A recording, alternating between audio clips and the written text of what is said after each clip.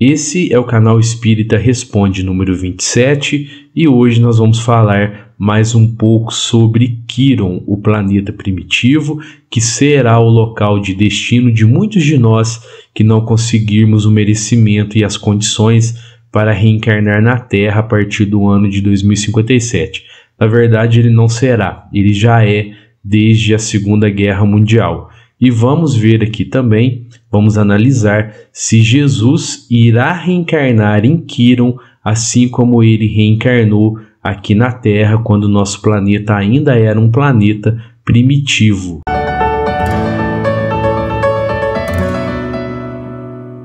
Fala meus amigos, minhas amigas, eu sou o professor Luiz Fernando Amaral. Muito legal ter você comigo mais uma vez aqui no canal Espírita. Então, esse é o quadro Canal Espírita Responde. E se você tiver alguma dúvida que você queira que seja respondida em vídeo, basta você enviar a sua pergunta para esse endereço de e-mail que está aparecendo na sua tela, canalespíritaresponde@gmail.com, tudo junto, tudo minúsculo e sem acento. Os vídeos do quadro Canal Espírita Responde vão ao ar toda sexta-feira às 11h30 da manhã mas você pode continuar enviando suas perguntas também nos comentários dos vídeos, porque eu respondo por lá também, tá bom, pessoal? Eu queria pedir para você se inscrever aqui no canal, ativar o sininho das notificações, dar um joinha aqui nesse vídeo, compartilha, comenta, pois assim você estará ajudando na divulgação da doutrina espírita e divulgar a doutrina espírita também é um ato de caridade. E a pergunta de hoje foi enviada pela amiga Viviane Rodrigues e ela diz o seguinte: na verdade, são algumas perguntas. Muito obrigado ao professor Luiz Fernando por me ensinar tanto. Estou tentando praticar uma reforma íntima. O planeta Quiron é primitivo. A minha pergunta é sobre a evolução desse planeta. Vai ser igual à Terra ou vai ser melhor? As pessoas podem, eu acredito que seja evoluir mais os bichos e a natureza, e a religião vai ser uma cópia do que foi aqui, Jesus também vai reencarnar em Kiron. Obrigada pela atenção. Viviane, muito obrigado pelas perguntas, são excelentes, é, são temas bem bacanas aqui então para o nosso vídeo e vamos lá então. Bom, pessoal, essa pergunta, né, se Cristo vai reencarnar lá em Kiron, é um tanto quanto complexa de se responder, pois tudo vai depender de como a humanidade em Kiron irá conduzir o seu progresso. Mas por que Jesus reencarnou na Terra, né? Porque ele é o governador espiritual do nosso planeta. E não só do nosso planeta, mas de quatro outros planetas. Olha só, pessoal, ele é o governador espiritual de um planeta que está no sistema de Sírios ele é o governador espiritual de um planeta que está no sistema de Capela, ele é o governador espiritual da Terra, né, do nosso planeta, ele é o governador espiritual de Quiron e ele está formando um novo planeta, onde ele será também o governador espiritual. Mas é importante, pessoal, não confundir o planeta Quiron com o corpo celeste que foi descoberto né, no ano de 1977 classificado como um asteroide. Quiron, que nós estamos falando, é um planeta em um outro sistema solar. Não sabemos exatamente onde, mas sabemos que é um planeta primitivo para onde muitos espíritos da Terra estão sendo degradados desde a Segunda Guerra Mundial para lá eles continuarem as suas reencarnações.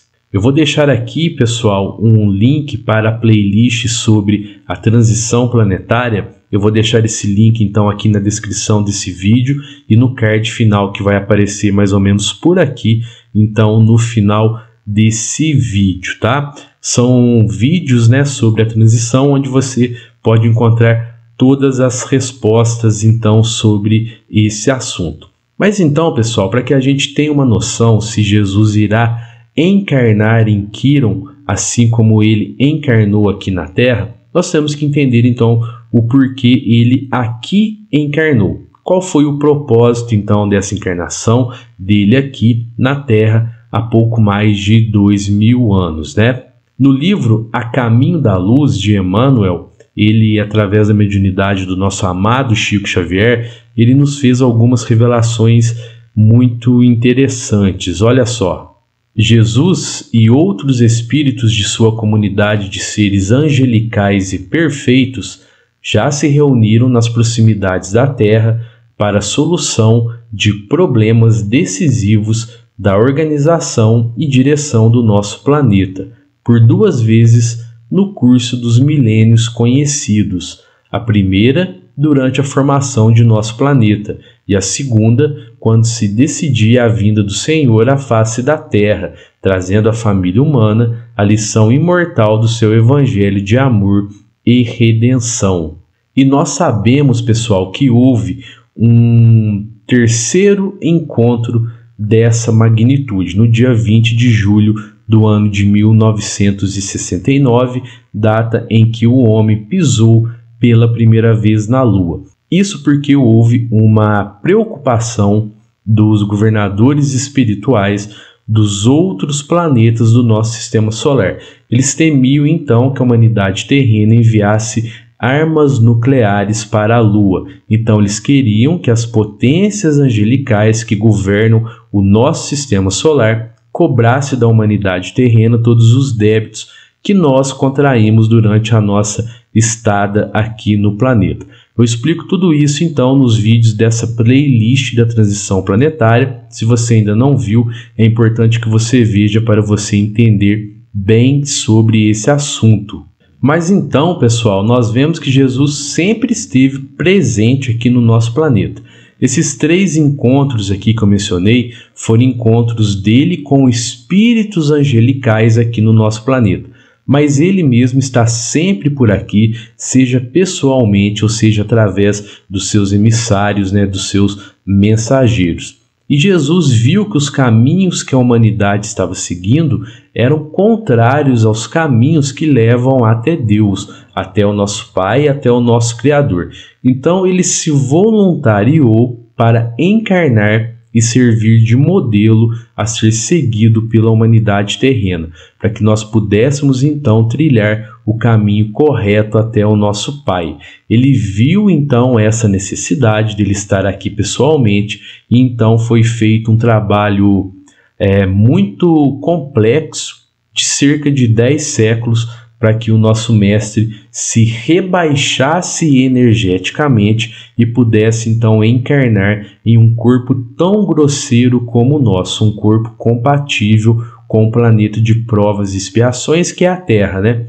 Naquela transição entre o planeta primitivo e o planeta de provas e expiações que nós somos hoje. E além disso, pessoal, espíritos tiveram que vir de outros orbes, principalmente do planeta lá do sistema de Sírios, como José e Maria, por exemplo, né, que aqui encarnaram também e para auxiliar o nosso mestre na sua missão de amor e de piedade, ou seja, a encarnação dele aqui na Terra foi algo muito complexo. Então tudo vai depender de como a humanidade em Kiron irá é, digamos, conduzir os seus caminhos, né, a sua evolução moral e espiritual através das reencarnações. E claro, se o nosso mestre julgar que é preciso que ele encarne lá para servir de modelo àquela humanidade, certamente ele irá fazer isso, pois ele ama a todos, independente de onde as pessoas estejam, independente do grau evolutivo em que elas se encontram. Agora, a amiga Viviane ainda fez duas outras perguntas né, nesse e-mail, ainda sobre Kiron. Ela quer saber se a evolução em Kiron, a evolução da humanidade, dos seres vivos lá, se essa evolução será igual aqui na Terra, e ela quer saber também sobre as religiões que surgirão lá. Bom, por que, que parte da humanidade terrena está sendo degradada para lá, né, para Kiron? Quem acompanha aqui o canal há mais tempo sabe que é devido então à transição planetária. Hoje o nosso planeta, como vocês sabem, é um planeta de provas e expiações e a partir do ano de 2057 ele começará uma nova etapa onde a vida aqui será muito melhor do que é hoje. Nosso planeta passará a ser um planeta em regeneração até que no futuro ele seja um planeta completamente regenerado. E só poderão reencarnar aqui nessa nova fase da Terra a partir do ano de 2057 aqueles espíritos que vibram de acordo com um planeta melhor em regeneração. Então, pessoas voltadas ao crime, à corrupção, a qualquer nível né, de corrupção, a degradação ambiental, aos vícios, pessoas materialistas, voltadas para a sensualidade, que pregam e incentivam pautas totalmente equivocadas que vão contra a evolução moral e espiritual da humanidade, pessoas voltadas à guerra, à violência, enfim, todas essas pessoas estão sendo é, degradadas para Kiron e muitas outras também serão, né? Degradadas, exiladas nesse planeta primitivo. Ah, mas o espírito não regride, então teria que ser em outro planeta de provas e expiações. Não, pessoal, não é assim que tem que ser, até porque isso não é uma regressão do espírito. Mas para esses espíritos, que não conseguirem então essa condição e merecimento para estarem na Terra a partir de 2057, é porque um planeta de provas e expiações não é mais suficiente para que esses espíritos evoluam, né? As provas e expiações desses planetas não são suficientes. Então eles têm que continuar reencarnando em um planeta primitivo para que lá através de lutas dificílimas, eles possam se depurar e começar a trilhar o caminho correto.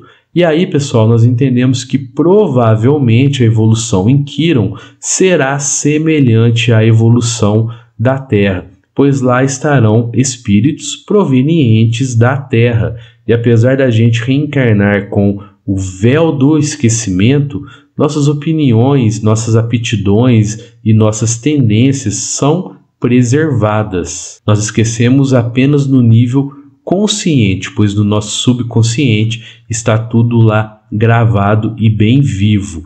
Ou seja, até que a humanidade inquiram, mudem essas tendências que levou elas até lá, a evolução em Quiro então provavelmente será semelhante à evolução da Terra. Isso também em relação às religiões. Provavelmente o modelo de religiões será mais ou menos parecido com o nosso devido a essas tendências e aptidões preservadas no subconsciente. E como não ser degradado para Kiron? Tenho certeza que muitos de vocês devem estar perguntando isso. Como adquirir o merecimento então para poder continuar a reencarnar na Terra em regeneração, né, a partir do ano de 2057. Praticar a reforma íntima. Esse é o caminho, pois com a prática então da reforma íntima, nós acabamos nos tornando pessoas melhores, porque nós vamos nos conhecendo, conhecendo a nós mesmos, e assim a gente consegue ter uma noção daquilo que a gente precisa mudar para melhor. Praticando a reforma íntima, a gente consegue colocar em prática aquilo que Cristo nos ensinou: orar e vigiar. A oração, claro, ela é a nossa ponte com a espiritualidade e esse vigiar o que é? É vigiar os nossos pensamentos, as nossas palavras e as nossas atitudes para que a gente possa ser pessoas sempre melhores. Eu vou deixar aqui na descrição desse vídeo um link para o vídeo mais importante do canal até hoje, que é o vídeo sobre a reforma íntima, onde eu trago para vocês 20 exercícios ensinados pelo nosso amado Chico Xavier, exercícios que vão te possibilitar colocar a sua reforma íntima em prática agora, que irão fazer com que você pratique a sua reforma íntima a partir de agora. E eu queria agradecer a você que ficou comigo até aqui no final desse vídeo. Confere aí se você está inscrito no canal, se você deu um joinha aqui nesse vídeo, tá bom? Um fraterno abraço a todos e que assim seja!